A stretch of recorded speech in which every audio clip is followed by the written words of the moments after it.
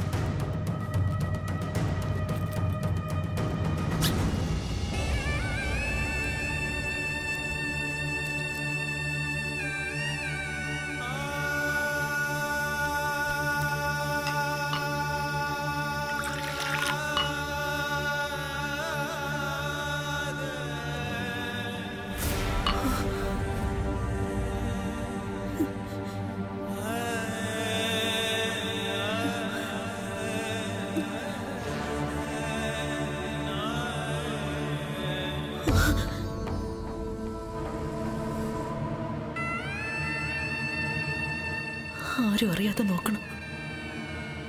എന്റെ അനുജത്തിമാരെ അറിയാതെ നോക്കണം. ഞാൻ ഈ ലോകം വിട്ട് അടുത്തു തന്നെ പോകും. അതുവരെ ഞാനൊരു രോഗിയാണെന്ന കാര്യം അവരറിയരുത്.